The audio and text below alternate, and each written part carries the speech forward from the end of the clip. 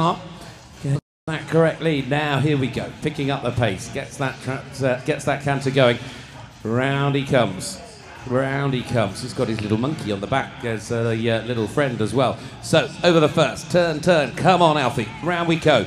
Turning back to the musical notes at number two. Kicking shot. Oh, nicely done. Little hop and a skip over that one as they come back from the treble clef towards number three. Now down the uh, straight line in front of the hospitality. Now can he get inside? Of course he can. Super little jockey here, twisting and turning, silky smooth at the moment around this arena here at Bolesworth. Coming up towards number six. Pressures on Nicole. He's done the job. Now it's over to you. So off we go for Nicole Pavitt. About the same time, it's even Stevens. Remember, if they have a fence down, three seconds added onto the time, and that could be very, very costly. At the moment, though, this is even Stevens. Two to go. Come on, Nicole. Come on to our genie.